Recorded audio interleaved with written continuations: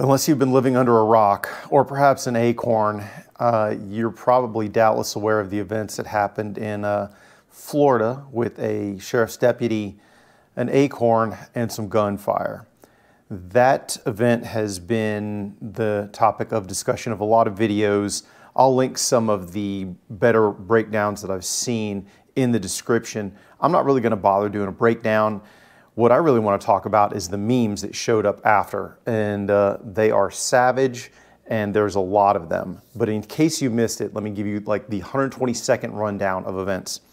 Um, on November 12th, 2023, at approximately 9:29 a.m., Deputy Jesse Hernandez and Sergeant Beth Roberts both discharged their weapons on duty. They had previously responded to calls for service involving a disturbance to the peace and another regarding a suspected auto theft. As part of the investigation into those calls, one Mr. Marquise Jackson was placed into handcuffs, patted down, and placed in the back of Deputy Jesse Hernandez's patrol vehicle. What happens next is what I think you've probably already seen.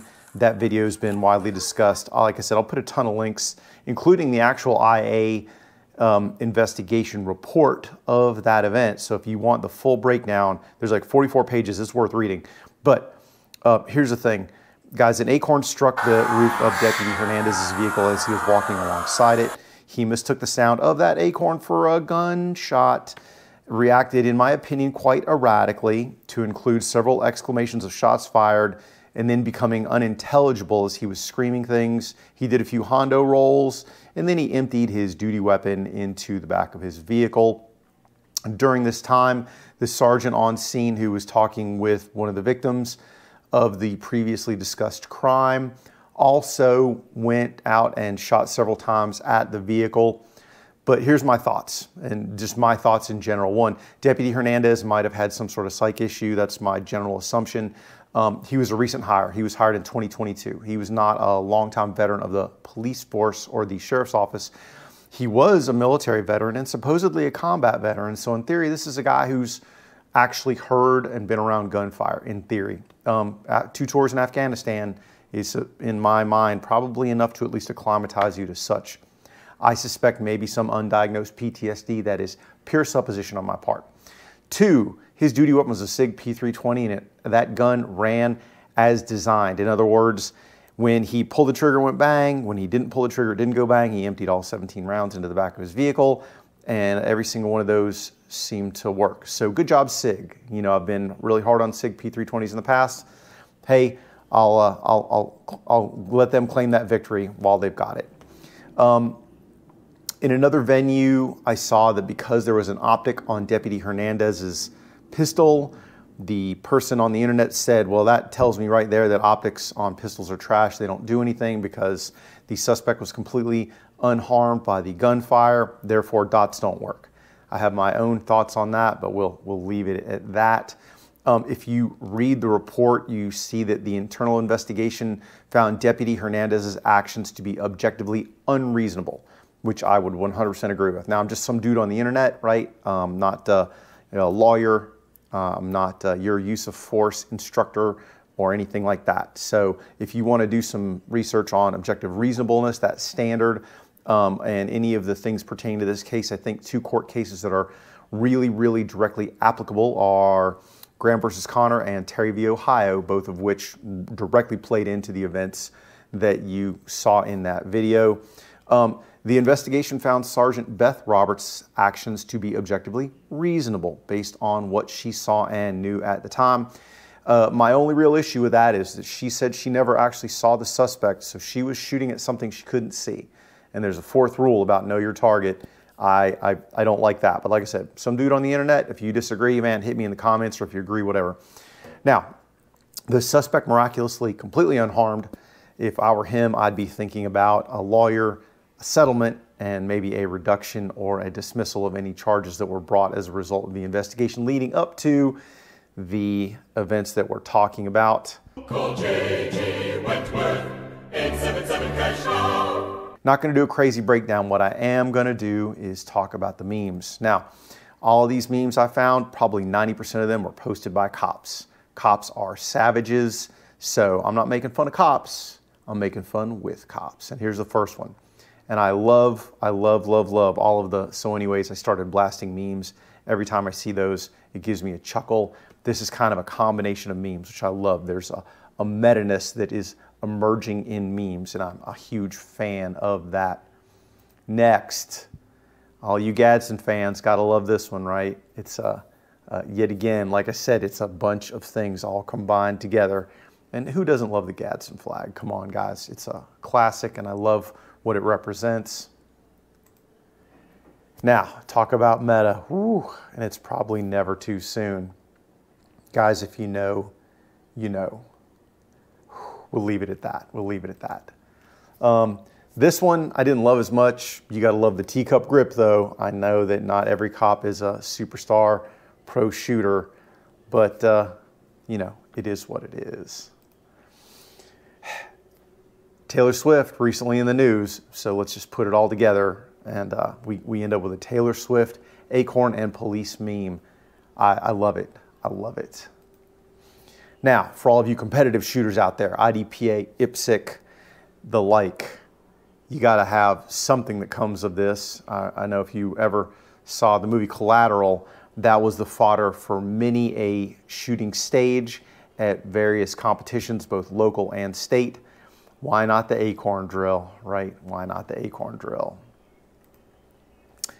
Well, some of you guys are worried about assault weapons, really, I think the real problem, the real issue, the thing that we're most worried about is the assault acorns. Can't have those on, on our streets, those weapons of war. Did I mention I love the so anyways I started blasting memes? I just love them. I can't get enough of them. If you have any more, guys, send them to me. I, I seriously, I will just continue to laugh. I'm uh, really basically a 12 year old trapped in a 50 something year old's body. So I love those memes. Everybody loves the Second Amendment, right? Everybody loves the Second Amendment. Shall not be infringed. I mean, those are the words. What, you know, how do you interpret it except for that? Angry Birds, so passe. How about Angry Nuts?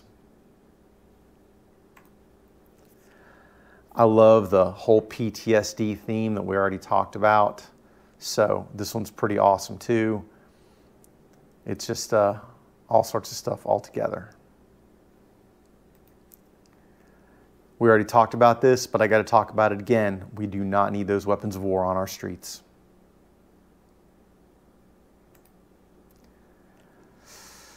It's hard being a cop these days. Seriously, everybody's out to get you, even the trees. saw a friend of mine posted this one and he's like, hey, I'm not bashing law enforcement. Uh, I'm not bashing law enforcement either. Who doesn't love the Terminator memes? If you've ever seen this show, it just all goes together. So, uh, what are you going to do? I, I think they probably should do a special on this, but hopefully with not real guns.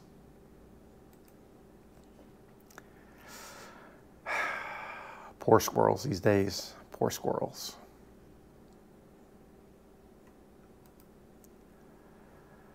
I don't even know what this is about, but I had to include it anyway because, eh, why not? And seriously, I wasn't kidding. When I said a surplus of memes, I might have put like half the memes that I've seen in this video. There are way more.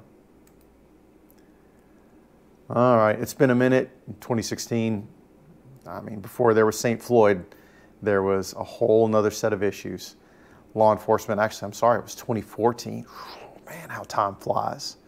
Man, I'm feeling old, feeling old.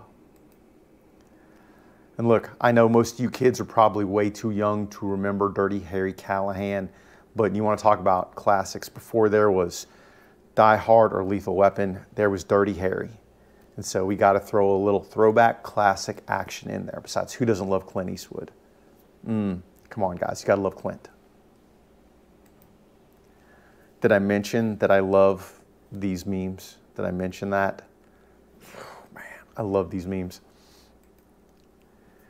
Uh, you've got to like the sort of news article slant to the meme. I think you've got to love that. Plus, that guy looks super panicked. That was an excellent freaking meme. And who doesn't love sweating guy? Who doesn't love sweating guy? Hey, where prohibited, you should definitely not carry them. I want you to stay out of trouble, guys. This one, an all around good generic one. I like it. And this one, this has got to be my top. I'm going to end this here. Uh, one of my all time favorite meme templates.